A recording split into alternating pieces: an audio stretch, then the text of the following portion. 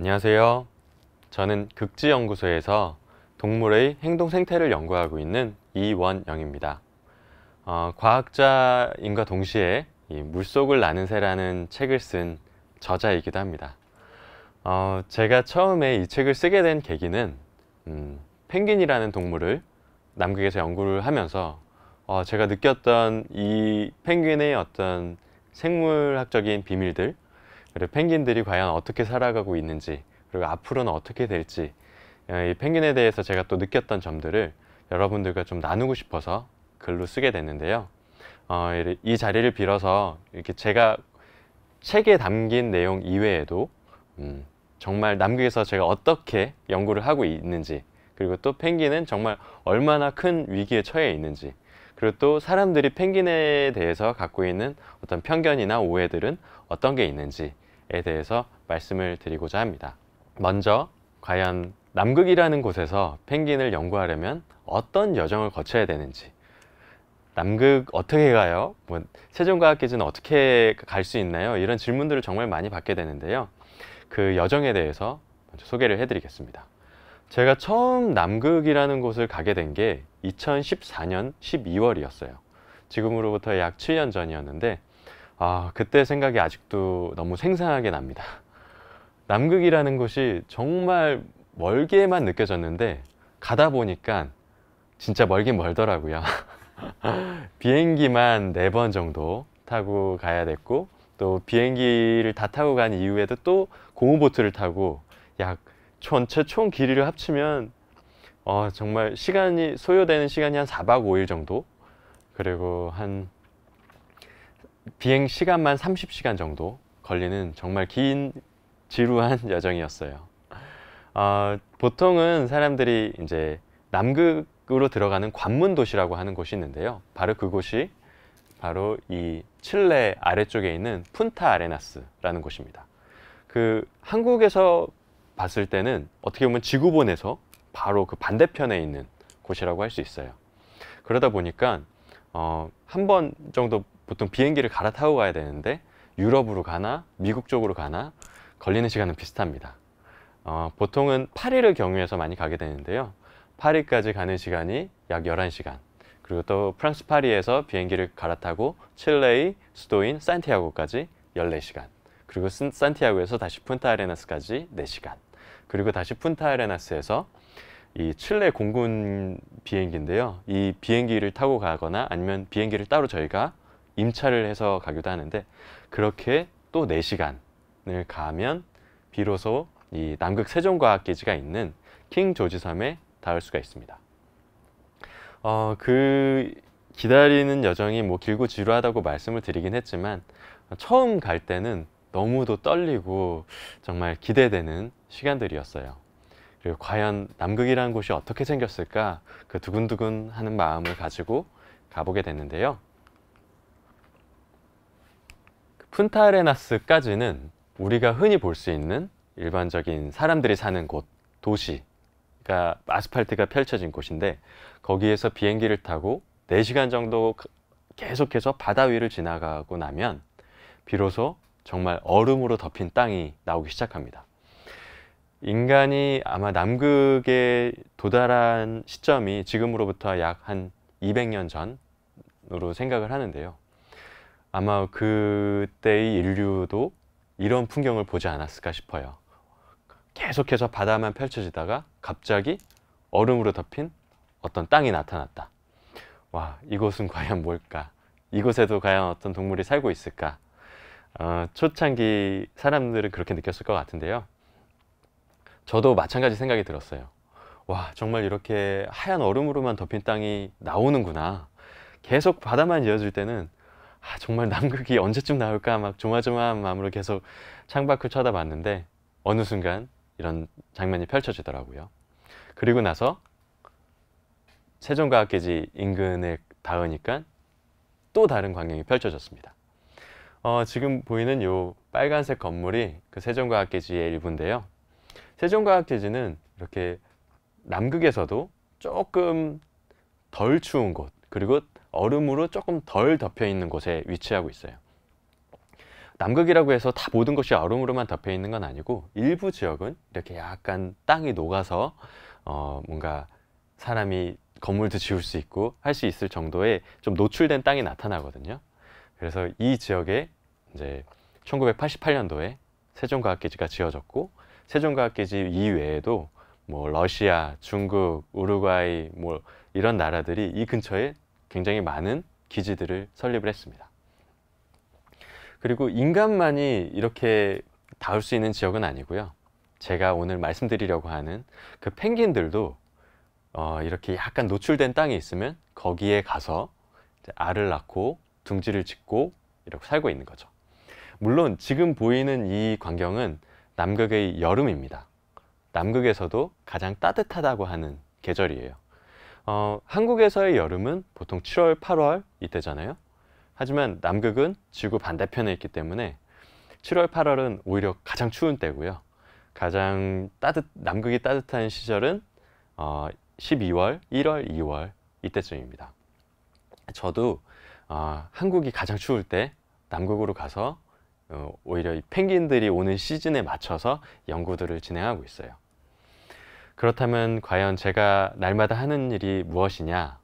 뭐 일상생활이 어때요? 뭐 가서 하는 생활이 과연 어떤 일들이에요? 이렇게 물어보시는 분들이 많은데 어, 제가 날마다 하는 일은 바로 이런 일들입니다.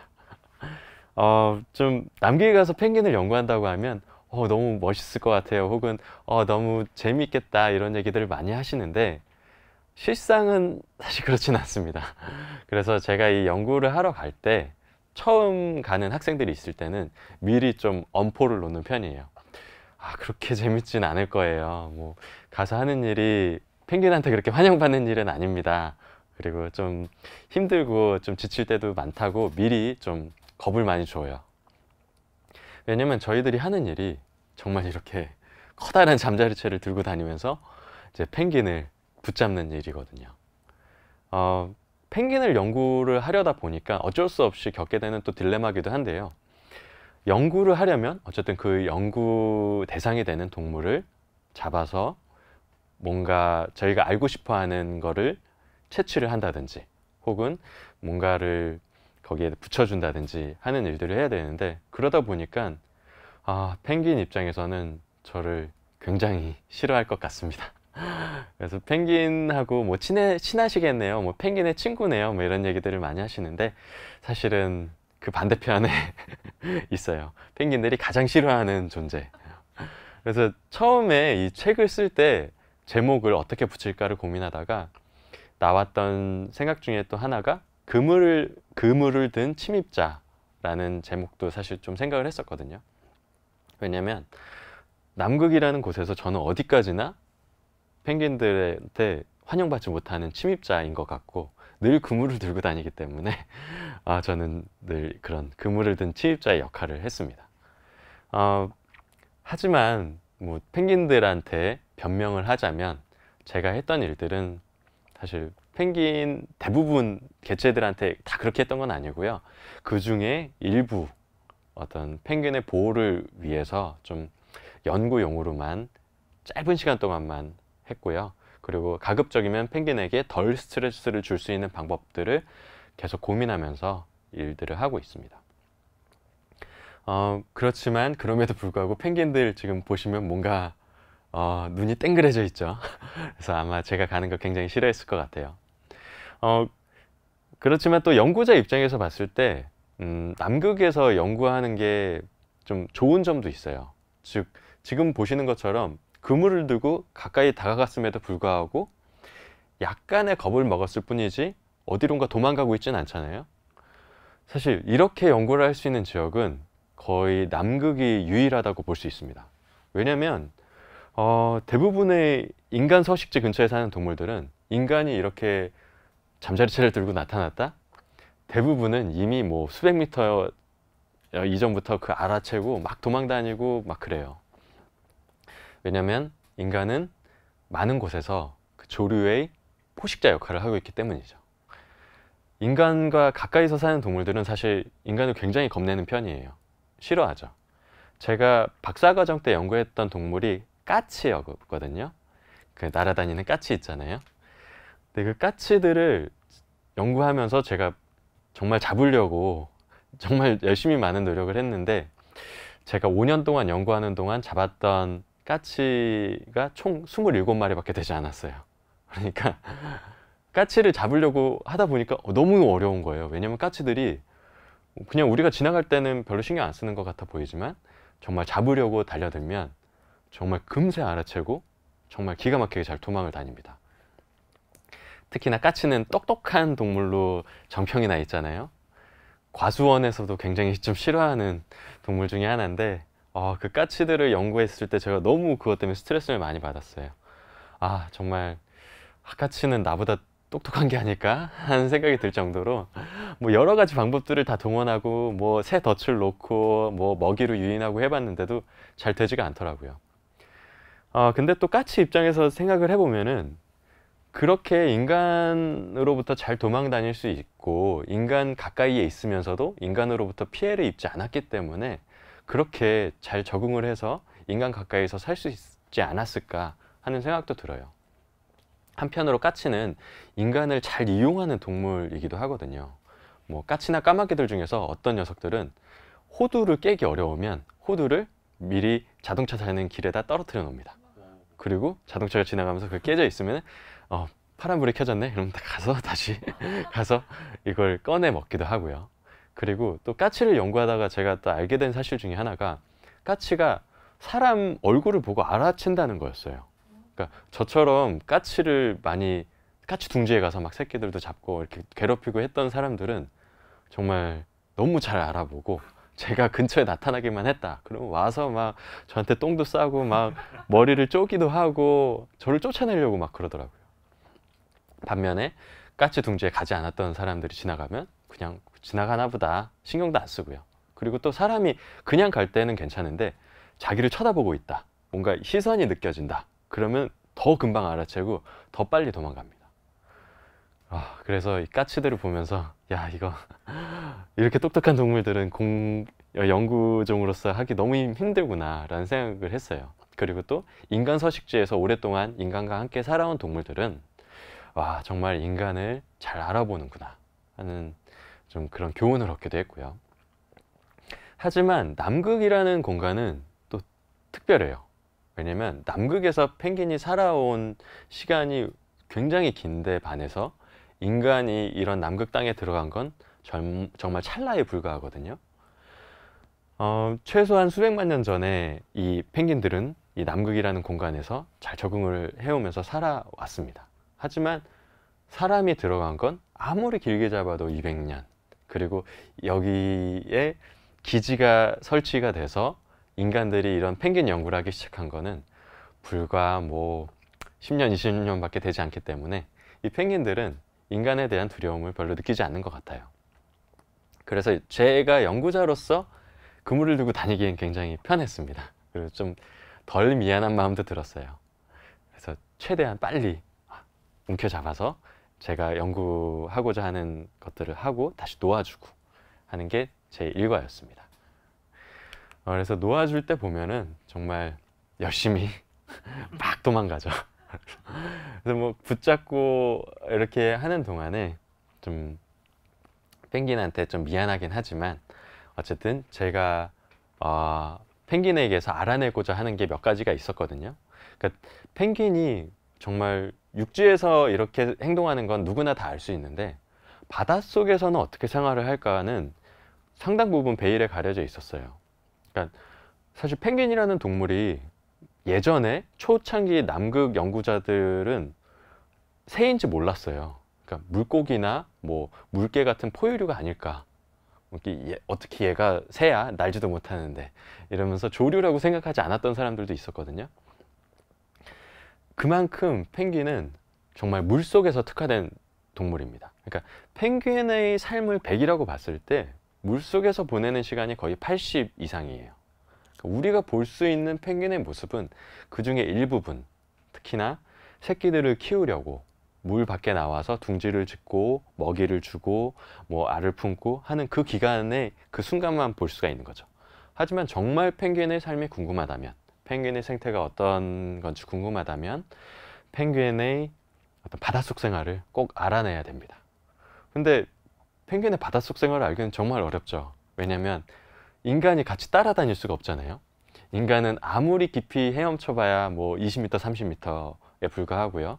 또 남극 바다는 정말 춥거든요. 뭐 영하 1, 2도까지도 떨어지는 곳이기 때문에 인간이 쉽게 들어갈 수가 없어요. 그런 환경을 펭귄은 자유롭게 막 헤엄쳐 다니기 때문에 아, 예전 사람들은 펭귄의 물속 생활을 거의 알지 못했습니다. 그래서 그냥 아 둥지에서 어떤 식으로 구애를 하고 짝짓기를 하고 서로의 짝을 어떻게 부르는지 이런 것들만 주로 연구를 했다가 최근 들어서 어, 지금 희미하게 아마 보이실 텐데요. 제가 이 머리 정수리에다가 뭔가를 붙여놨죠. 저런 걸 통해서 어, 좀 뭔가를 알아내기 시작했어요. 이런 방법을 바이오 로깅이라고 부르는데요. 지금 이건 좀 더 클로즈업해서 찍은 사진인데 펭귄의 등과 지금 머리 위에다가 제가 뭔가를 달아놨죠. 이 방수 테이프를 이용해서 깃털하고 같이 이렇게 오밀조밀 붙여놓은 건데요. 등에 있는 게 GPS, 뭐 비디오 카메라, 그리고 또 머리에 달려 있는 게 가속도계라는 장비입니다. 어, 물론 이 장비들을 아주 오랫동안 붙여놓는 건 아니에요. 붙여놓고 한 10시간 정도만 이, 어, 달아놨다가 다시 펭귄이 돌아왔을 때를 기다려서 다시 수거를 하고 다시 깨끗하게 이것들을 떼어줍니다. 근데 이런 장비들이 있으면 좋은 점이 뭐냐면 펭귄이 얼마나 멀리 잠수해서 나갔는지 그리고 얼마나 깊이 잠수했는지 그리고 이 물속에 들어갔을 때 머리를 몇 번이나 움직였는지를 정확하게 알 수 있는 정말 도움이 되는 기기들이거든요. 아, 이런 장비들이 개발된 게 어, 굉장히 최근 일들이에요. 어, 거의 21세기 들어서 이런 기기들이 많이 발명이 됐기 때문에 펭귄 연구자들이 이걸 가지고 아 펭귄이 어떤 물속 생활을 하는구나 라는 것을 비로소 조금 조금씩 알아가고 있습니다. 그래서 저도 이제 최신 기기들을 해마다 눈여겨보면서 아 이런 것들이 새로 나왔구나 이런 것들을 해보면 좋겠구나 라는 걸 음, 해마다 좀 새롭게 시도를 하고 있습니다. 그렇다면 과연 펭귄의 물속 생활이 어떻느냐 제가 한번 영상으로 보여드리자면 바로 이런 모습입니다. 어, 펭귄한테서 찍힌 비디오 카메라 스틸샷인데요. 지금 이 젠투 펭귄이 엄청난 뭔가 어, 물속에 있는 떼를 막 공격하고 있죠. 지금 저 점처럼 보이는 것들이 전부 다 남극 크릴입니다. 어, 남극 바다에 가장 생물량이 많은 게 바로 크릴인데요. 크릴은 약간 새우랑 비슷하게 생긴 갑각류예요. 남바다 곤쟁이 목이라고 하는데 이 크릴을 날마다 어, 물속에서 엄청난 숫자를 바, 잡아먹으면서 펭귄은 뱃속을 잔뜩 불립니다. 그리고 가끔씩 이런 남극 은암치라고 부르는 엔탁틱 실버피쉬를 먹기도 하고요. 그리고 또 뭔가 이 남극 대구같이 생긴 어, 뭔가 좀 더 커다란 물고기를 잡아먹는 것들도 가끔 찍혀요.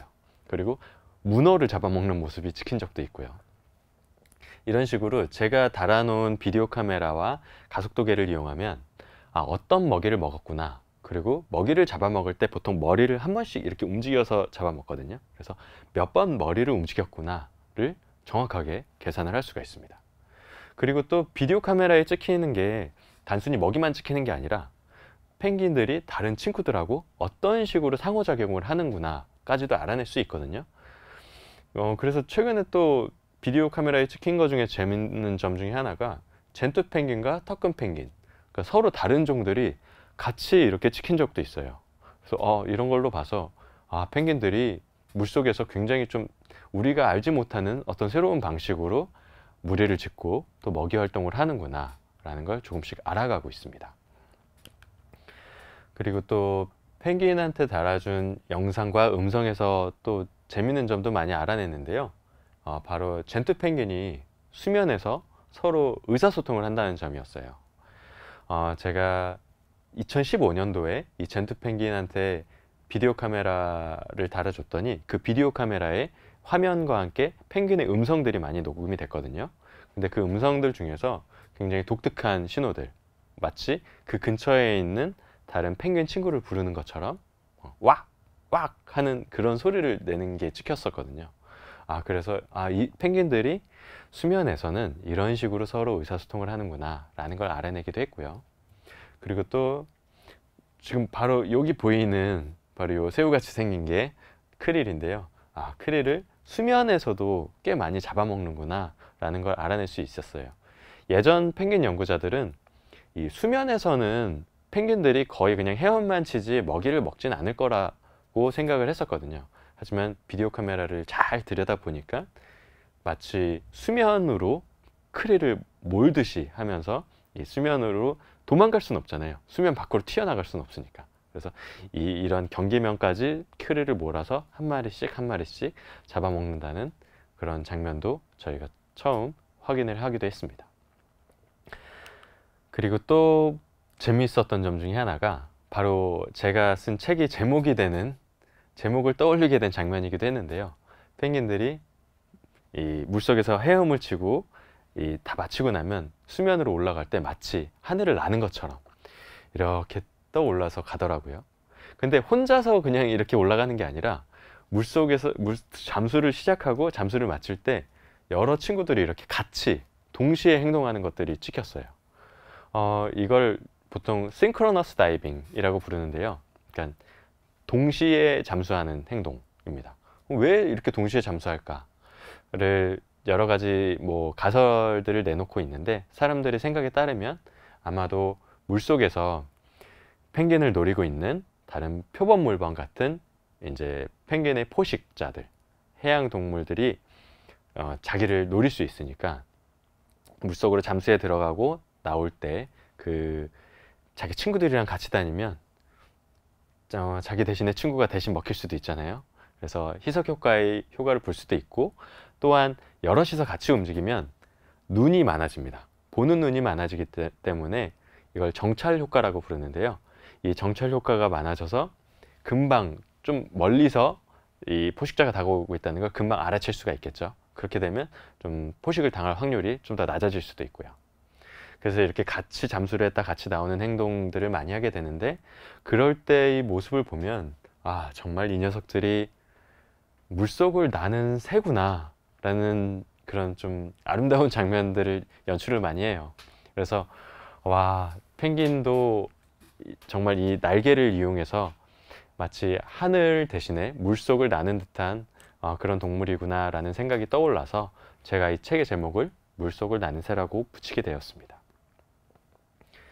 어, 펭귄의 생태에 대한 이야기는 한 여기까지 들려드리고요.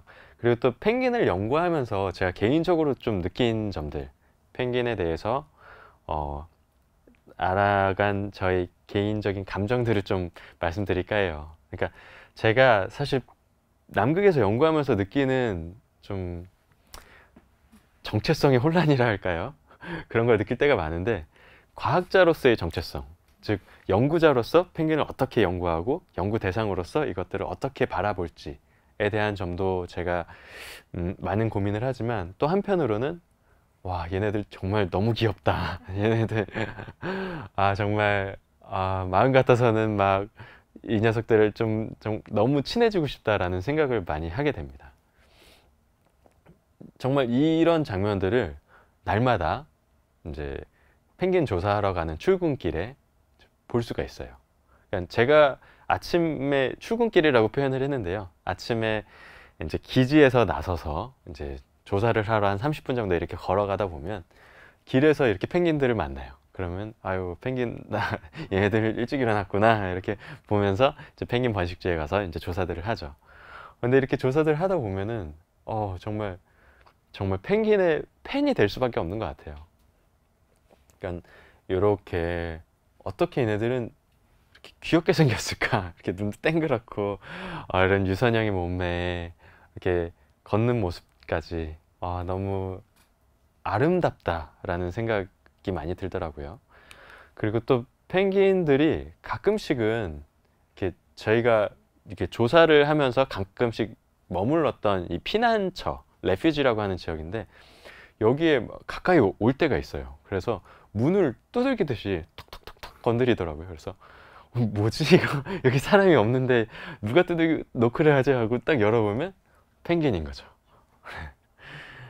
물론 펭귄은 정말 사람이 궁금해서 뭐 노크를 하진 않았을 거예요. 아마도 저 안에서 뭔가 소리가 들리니까 어, 자기 둥지 근처에 이것도 누가 온 거야? 라는 생각이 더 컸을 수도 있지만 이렇게 다가와서 아 옆에서 있는 걸 제가 창문으로 이렇게 내다볼 때가 있거든요. 그래서 창문으로 내다보면 펭귄이 저를 이렇게 쳐다보면서 문 앞에 서 있더라고요. 그래서 아 그 장면들을 보면서 정말 펭귄에 대한 애정을 아, 감추기가 어려웠습니다. 그래서 그럴 때는 잠시 연구자로서의 정체성은 꺼두고 이제 펭귄을 좋아하는 정말 조류 애호가로서 펭귄의 팬으로서 펭귄을 관찰하고 했어요. 그래서 그런 과정에서 이렇게 펭귄의 모습을 이렇게 그림으로 남기기도 했습니다. 펭귄의 얼굴을 이렇게 그 자세히 들여다 보니까 그냥 겉으로 봤을 땐 다 똑같은 펭귄 같아 보였는데 아 얘네들도 생긴 게 조금씩 다르더라고요. 그러니까 사람들도 보면 얼굴이 다 다르잖아요. 그런 것처럼 펭귄도 어, 얼굴이 조금씩 달라요. 부리가 좀 더 길고 좀 두꺼운 녀석도 있고요. 그리고 또 젠투 펭귄은 얼굴에 이렇게 흰 점 무늬가 있는데 그 점 무늬가 유독 많은 애들도 있고 좀 적은 애들도 있고. 그래서 아 이렇게 펭귄들도 개체마다 저 특징이 있구나. 사실 어떻게 보면 당연한 얘기죠. 인간도 단일 종이지만 사람마다 다 성격도 다르고 얼굴도 다 다르잖아요. 그래서 우리는 보통 펭귄을 부를 때 그냥 젠투 펭귄, 턱금 펭귄, 뭐 젠투 펭귄은 어떻다, 턱금 펭귄은 어떻다 이렇게 쉽게 얘기를 하지만 사실 젠투 펭귄도 수백만 마리가 있고 턱금 펭귄도 진짜 수백만 마리가 있는데 그 녀석들을 한꺼번에 음, 모아서 그냥 집단을 마치 하나의 개체처럼 부르는 건 어, 좀 공평하지 않은 생각이 들어요. 그래서 펭귄을 연구, 연구하면서 또 들었던 생각 중에 하나가 아 야생 동물들도 인간과 마찬가지로 개체 하나하나가 정말 나름의 특징을 가질 수도 있겠구나. 이 얼굴도 다르고 또 행동도 많이 다르고요. 물속으로 들어가서 나타내는 그런 잠수 특징이나 이런 것들도 개체의 변이가 굉장히 크구나 하는 걸 알게 되었습니다. 그리고 또 한편으로 펭귄을 연구하면서 좀 놀라웠던 점 중에 하나인데요. 아, 이 녀석들이 정말 분변을 엄청나게 많이 만들어낸다 라는 점이었어요. 아, 아마도 울산에 사시는 분들은 잘 아실 거예요. 울산에는 해마다 정말 많은 수의 까마귀가 찾아와서 겨울을 나고 돌아갑니다. 근데 그 까마귀들이 전선 위에서 혹은 나무 위에서 시간을 보내는데 그 밑은 전부 다 그냥 흔히 말해서 똥밭이에요. 그냥 제가 까치를 연구할 때도 까치의 분변을 가지고 연구한 적이 있었는데 보통 시, 제가 이렇게 시간을 재면서 측정을 해보니까 한 1시간에 한 번씩 이 한 개체가 똥을 싸더라고요. 그러니까 만약에 거기 만 마리가 있다. 라고 하면 예, 시간당 만 개의 그 똥 덩어리가 떨어지는 거예요. 그러니까 그 양이 어마어마하죠. 까마귀가 그럴진데 펭귄은 어떻겠어요? 펭귄은 까마귀보다도 훨씬 덩치가 크고 많은 먹이를 먹는 녀석들이기 때문에 이 녀석들도 굉장히 많은 분변을 배출을 합니다. 그래서 사실 펭귄이 배출해낸 이 분변이 이 남극의 토양을 바꿔놓기도 해요. 이, 그래서 펭귄 구안호라고 부르는데 이 펭귄이 분변이 만들어낸 그 유기 토양 그 유기물 덩어리들을 가지고 어떤 비료로 이용하는 그런 아이디어가 나오기도 했었고요. 근데 실제로 가서 보니까 그 분변의 압력이 굉장했는데요. 어, 사실은 이 펭귄의 분변의 압력이 어느 정도인지를 계산해낸 과학자도 있었습니다. 독일에서 연구했던 마이어 로쇼프라고 하는 학자가 사실 저희 극장구소에서 한번 방문을 했었는데요. 그분이 이 펭귄의 장 길이와 직장 길이 뭐를 가지고 이 계산을 해서 보니까 아 대략 한 60에서 한 70kPa 정도의 압력으로 분변을 배출한다더라. 그러면 대충 비행하는 거리는 한 50cm 정도 뭐 이런 식의 계산을 해내기도 했습니다. 근데 저도 가서 보니까 어 정말 굉장한 압력이었어요. 이 분변에 제가 관심을 갖게 된 이유 중에 하나가 어 제가 이제 펭귄을 포획해서 앞서 보여드렸던 바이오로깅 장비들을 부착을 하려다, 하려다 보면 당연히 펭귄들이 저를 싫어했겠죠. 그리고 싫어하고 이제 겁을 먹고 스트레스를 받으면 하는 그 야생동물들이 가장 일반적인 행동 중에 하나가 바로 이 분변을 배출하는 겁니다. 뭐 쉽게 말하면 저한테 막 똥을 쌌다는 얘기죠. 그래서 펭귄을 조사하다 보면 거의 뭐 온몸이 이제 분변으로 이제 더러워지고는 해요. 그래서 아 이제 조사를 하고 기지로 돌아오면 이제 동료들이 저를 피합니다. 이제 쉽게 말하면 아 저 똥 냄새 난다. 아, 저 뭐, 이런 걸 얘기하기도 하고요. 정말 진지하게 컴플레인을 하시는 분들도 있어요. 아 그 펭귄 연구하는 애들은 갔다 오면 좀 격리를 하자. 쟤네들은 좀 따로 이제 세탁실로 보내서 옷을 좀 빨고 돌아오게 하자. 이런 얘기들을 해주시기도 하고요.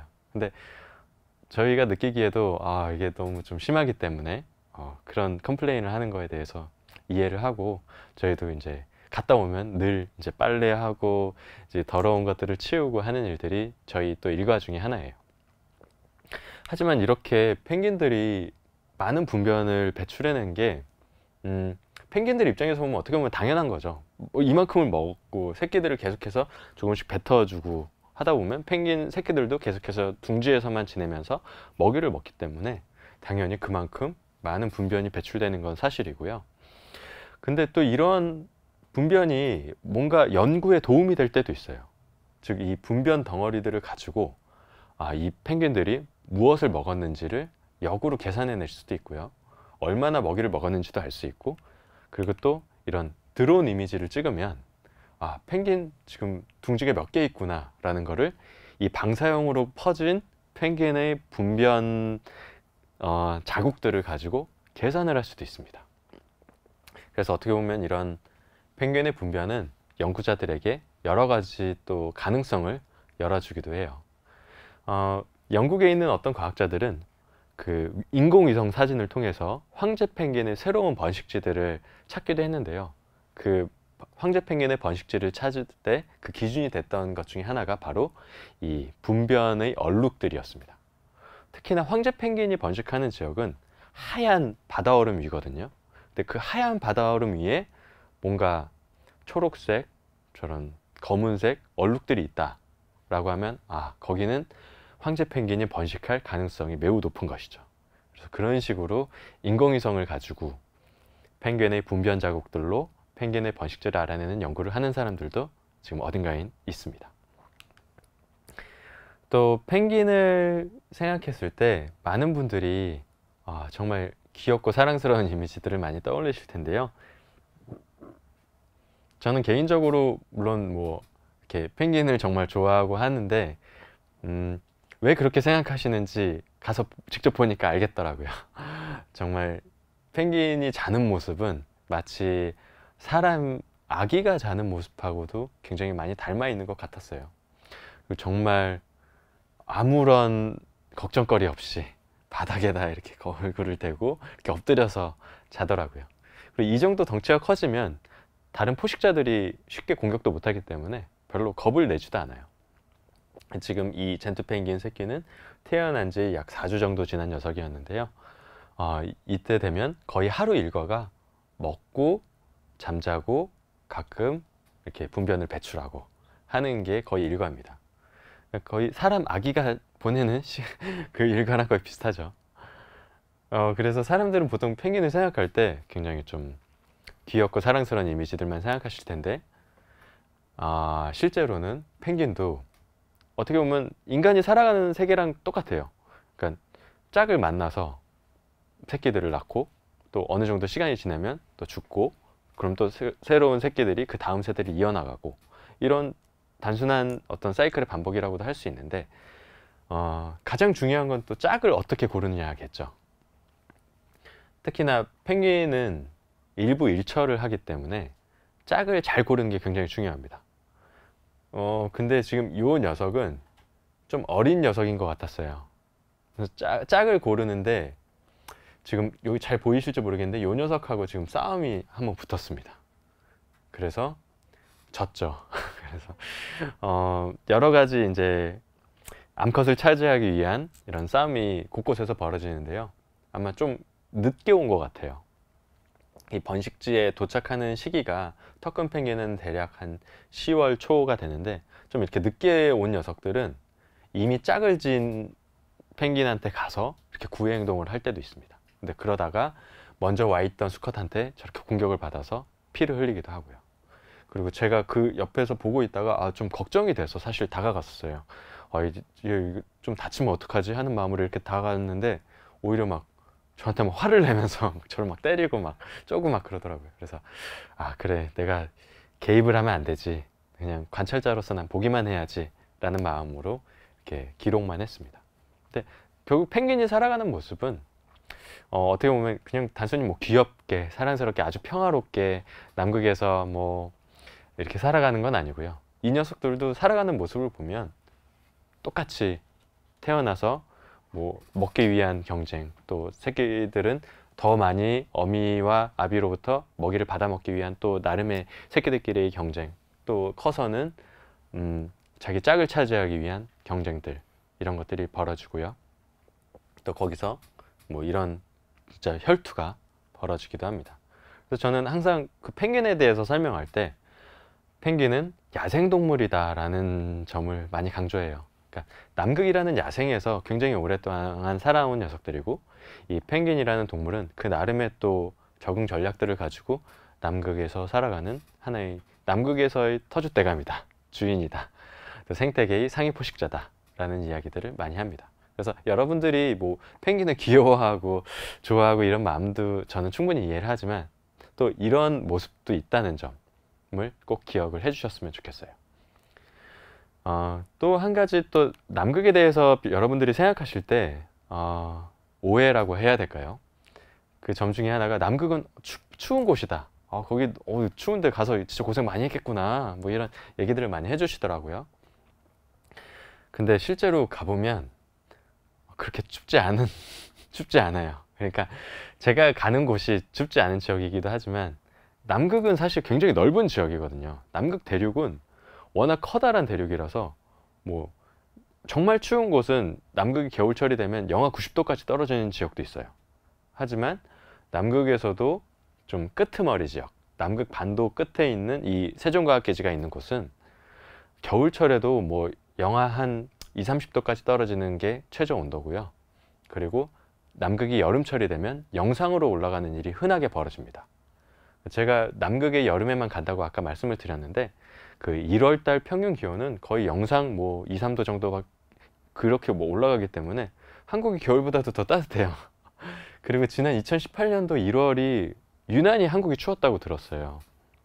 그래서 제가 남극에 가 있는 동안 어, 한국에 있는 제 아내랑 이렇게 연락을 하는데 아 진짜 너무, 너무 춥다 뭐, 뭐 이런 얘기들을 하더라고요 그래서 어 나는 지금 반팔에 반바지 입고 있는데 막 이런 얘기를 하고 사진을 찍어서 보내주면은 야 그 남극에서 진짜 피한을 즐기고 있다 그러니까 추위를 피해서 거기서 어떻게 남극에서 지내는 게 이게 말이 되냐 막 이러면서 아 사람들이 이걸 꼭 알아야 되는데 뭐 이런 얘기들을 하더라고요 그래서 제가 사실 한국에 그래서 돌아왔는데 1월 30일에 돌아왔는데 그때 인천공항에서 아, 기온이 제가 기억하기로는 영하 18도였던 것 같아요.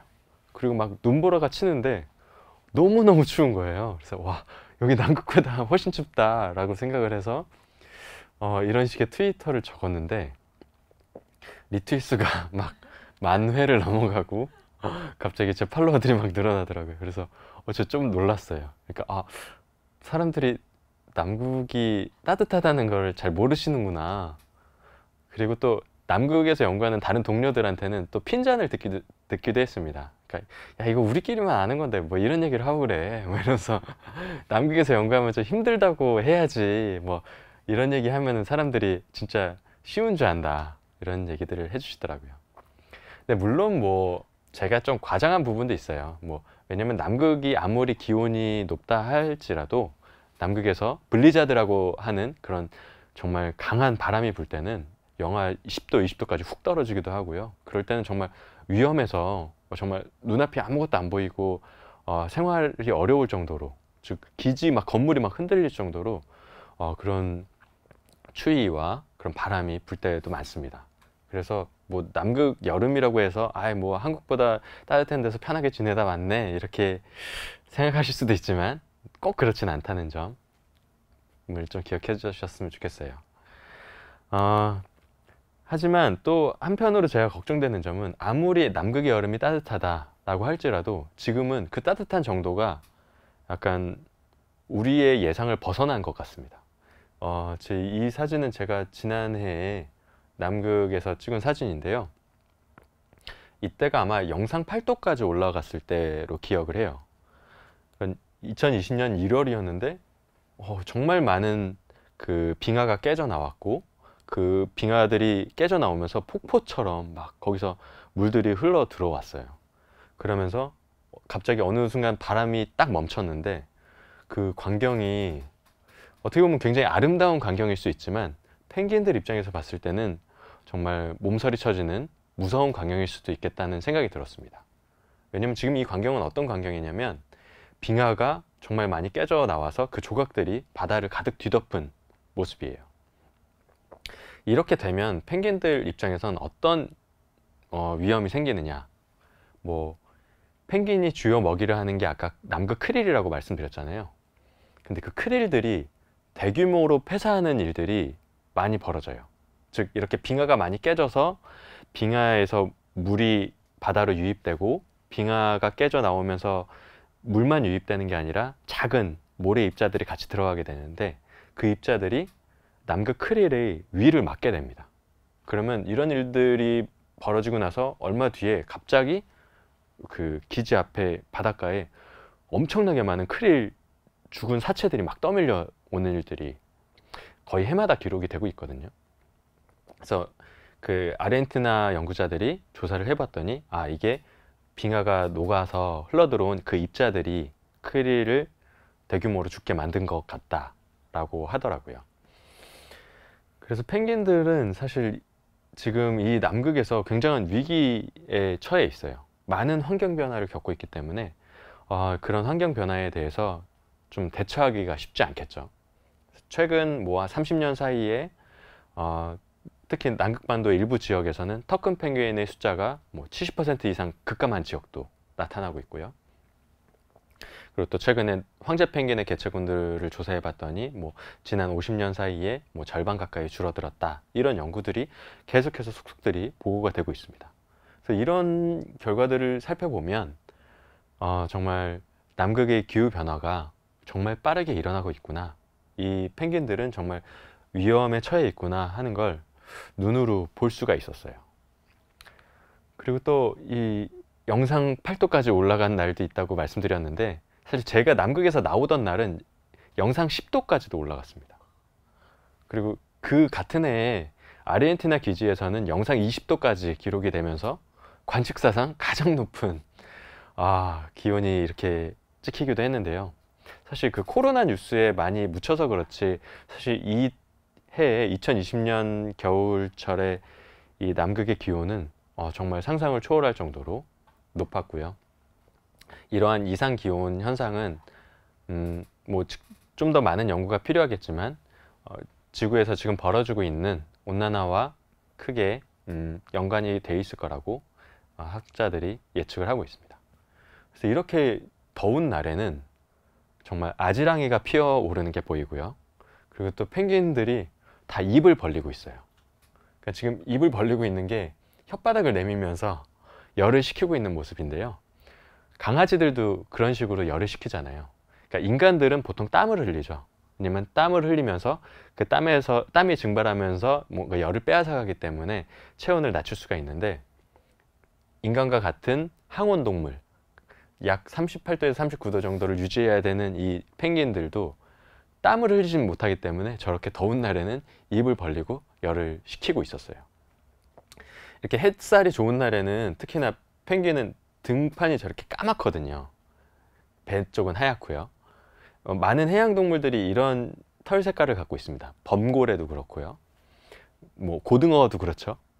근데 이런 가, 털 색깔을 갖고 있는 이런 색깔 패턴을 갖고 있는 이유는 사실 되게 간단해요. 그러니까 물 속에서 생활을 할 때 자기의 몸을 주변으로부터 잘 숨길 수 있는 가장 적합한 패턴입니다. 그러니까 물 위에서 이렇게 내려다 봤을 때는 주변하고 같이 흩어져서 까맣게 보이고요. 물 아래쪽에서 위를 보면 펭귄의 이 하얀 쪽만 보이기 때문에 에, 바깥쪽 그 해수면하고 같이 겹쳐져서 펭귄의 몸이 사라지는 것 같은 효과를 누릴 수가 있죠. 이런 것들을 그 배색 효과, countershading 이렇게도 표현을 하는데요. 이러한 어, 색깔 때문에 오히려 지금 이렇게 날씨가 따뜻한 날에는 등판의 온도가 등 부위의 온도가 뭐 40도 이상 막 올라가기도 하더라고요. 그래서 그런 날에는 이렇게 열을 식히는 모습들도 볼 수가 있었습니다. 어, 그리고 가끔씩 이런 소리도 들리는데요. 이거는 순간적으로 빙하가 무너져 내릴 때 마치 번개 치듯이 꽝꽝 하는 소리가 들려요. 이 세종과학기지에서 가장 가까이에 있는 마리안 소만이라고 하는 지역 사진인데 제가 이 지역에 갔을 때 정말 많은 빙하들이 깨져 나가는 걸 볼 수 있었고 이 가끔씩 우리가 다큐멘터리 같은 곳에서 이 빙하가 깨져나가는 장면들을 상징적으로 보여주고 싶어 하잖아요. 그러한 이제 예시가 되는 영상들이 사실 이곳에서 굉장히 많이 찍혔어요. 왜냐면 이곳에선 이런 일들이 너무 흔하게 벌어지고 있기 때문에 그냥 그 주변을 계속해서 비디오 카메라를 대고 있으면 어렵지 않게 찍을 수가 있습니다. 어, 이 얼음이 깨져나가는 속도가 어느 정도냐면 이 지역은 약 1년에 30m 정도 속도로 계속해서 빙하 라인이 뒤로 후퇴하고 있어요. 그러니까 1년에 30m다라고 하면 어, 정말 눈으로 그 변화 양상을 해마다 확인할 수 있을 정도고요. 이 세종기지가 지어진 이래에 지금 한 30년 정도 흘렀는데 그 30년 사이에 한 1km 정도 뒤로 이미 후퇴를 한 것이죠. 정말 어, 해안선 지도가 바뀔 정도의 커다란 변화입니다. 아, 그럼 이 지역이 가장 남극에서 어, 기후변화가 빠르게 일어나는 지역이냐? 사실 그것도 아니에요. 이거보다 훨씬 더 빠르게 일어나는 지역도 많이 있습니다. 어떤 지역은 이렇게 빙붕이 갑자기 쪼개지면서 엄청나게 지금 막 폭포수가 흘러나오고 있죠. 지금 장보기지 근처에 있는 난생 빙붕이라고 하는 곳인데요. 이 난생 빙붕은 어, 지난 2016년도에 굉장히 커다란 얼음 조각이 떨어져 나와서 이 일부가 완전히 사라졌어요. 그리고 그래서 그 장면을 극지연구소 연구자들이 이렇게 사진으로 찍기도 했었는데 이런 일들이 정말 해마다 뭐 빙하 어디가 떨어져서 나왔다. 뭐 빙하 어디가 쪼개져서 엄청나게 큰 빙산 조각이 지금 뭐 남극권을 떠돌아 다니고 있다. 이런 뉴스들이 정말 심심치 않게 계속 보이더라고요. 그리고 또 하나 상신, 상징적인 지역은 서남극에 있는 아멘, 아문젠해라는 곳인데요. 거기에 가면 스웨이트 빙하라는 어, 굉장히 좀 유명한 빙하가 있습니다. 왜 여기가 유명해졌느냐? 일, 일명 뭐 둠스데이 글래시어, 뭐 지구 최후의 날 빙하라고도 불리는 곳인데 지금 여기가 너무 빠른 속도로 녹고 있어서 그 아무래도 이, 이런 빙하가 녹음으로써 이 지구의 해수면 상승이 굉장히 우려되는 상황이거든요. 근데 그 중에서도 가장 어, 영향력이 큰 빙하로 알려진 곳입니다. 그래서 이 지역은 1년에 뭐 30m 정도의 그런 속도가 아니라 1년에 수 킬로미터가 뒤로 이렇게 흘러나면서 뒤로 물러나면서 이렇게 빙하가 쏟아져 내리는 게 눈에 보일 정도의 속도예요. 지금 극지연구소 과학자들도 이곳에 가서 어, 얼마나 지금 빙하가 빠르게 녹고 있는지 해수면 상승이 얼마나 지금 급하게 일어나고 있는지를 관측을 하고 있습니다. 그래서 이를 통해서 아, 정말 펭귄이 처한 위기 그리고 더 나아가서는 인간이 처한 위기가 얼마나 심각한지를 정확하게 관측하고 사람들에게 알리는 게 저희 과학자들의 역할 중에 하나라고 생각이 돼요. 네, 이제 제가 준비한 이야기는 거의 끝났는데요. 마지막으로 준비한 슬라이드는 바로 황제 펭귄 사진입니다. 음, 펭귄이 전 세계에 18종이 있는데 그 중에서 지금 가장 위기에 처한 종이 무엇이냐라고 묻는다면 보통 사람들은 황제 펭귄을 많이 이렇게 얘기를 하거든요. 왜냐하면 황제 펭귄은 어, 남극에서도 바다 얼음 위에서만 번식을 하는 녀석들인데 지금 남극의 바다 얼음이 줄어들고 남극의 빙하가 녹으면서 황제 펭귄의 숫자가 정말 빠른 속도로 감소하고 있어요. 그래서 최근 과학자들의 예측에 따르면 2100년도쯤이 되면 약 전체 개체군의 한 90%가 사라질 수도 있다라고 경고를 하고 있습니다. 물론 지금과 같은 온난화 속도가 계속됐을 때의 시나리오인데요. 우리가 조금 더 노력을 한다면 그 속도를 늦출 수도 있어요. 그래서 음, 우리가 계속해서 뭐 온난화를 막자, 온실가스 배출을 줄이자라고 얘기들을 많이 하는데 그 어, 지금 영향을 가장 최전선에서 가장 급격한 변화를 맞이하고 있는 동물이 바로 이 황제 펭귄입니다. 그래서 어, 어떻게 보면 이 황제 펭귄은 인간보다 앞서서 그 영향을 더 빨리 경험하고 있는 것 같아요. 그래서 이 황제 펭귄은 어떻게 보면 인간이 곧 맞이하게 될 또 우리의 미래가 될 수도 있고요. 여러분들이 펭귄을 보실 때 단순히 이렇게 귀엽고 깜찍하고 사람 호기심 많고 하는 동물이라고만 생각하지 마시고 정말 인, 지금 인간이 만들어낸 이 결과로서 남극에서 큰 위험을 겪고 있는 동물이다. 그래서 우리가 보통 뭐 펭귄을 살리자, 북극곰을 살리자 이런 얘기들 많이 하는데요. 정말 펭귄이 이렇게 귀여운 동물이니까 살려야 돼. 사실 그런 건 아니에요. 그러니까 펭귄은 하나의 상징이기 때문입니다. 북극곰도 하나의 상징이고요. 북극을 상징하는 북극곰, 남극을 상징하는 펭귄. 이 녀석들이 사라진다면 결국 인간이 살아가기에도 지구는 좋은 환경이 되지 않을 거예요. 그 펭귄이 없는 지구는 결국 인간이 살아가기에도 쉽지 않겠죠. 결국 펭귄을 살리자, 북극곰을 살리자라고 하는 이야기는 반대로 우리 인간이 살아남자, 우리 인간이 지구에서 멸종하지 말자라는 이야기와 크게 다르지 않다고 생각합니다. 네, 그럼 오늘 준비한 물속을 나는 새 펭귄 이야기는 이것으로 마치고요. 여러분들이 오늘 제가 마지막으로 이렇게 준비한 메시지들을 좀 잘 기억하시고 온실가스를 줄이기 위해서 우리가 무엇을 할 수 있을지 펭귄을 살리기 위해서 무엇을 할 수 있을지 같이 좀 생각해보는 시간을 가졌으면 좋겠습니다. 그럼 끝까지 들어주신 분들 감사합니다. 안녕히 계세요.